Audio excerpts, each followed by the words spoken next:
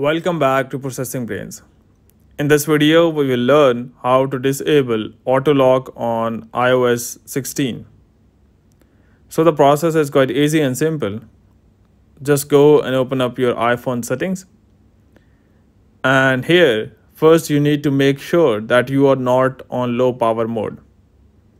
For that, you need to go to battery. Here you can see battery tap on this and make sure the low power mode is turned off and once you have done so go back to your settings.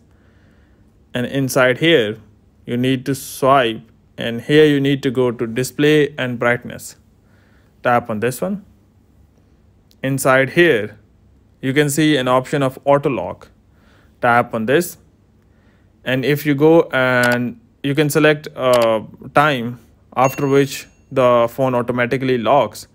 But if you want to completely disable auto lock on iPhone you can select the option of never. So once you have done so, you will be able to disable or turn off auto lock on iOS 16. But before you go, please like, subscribe and share. Thank you.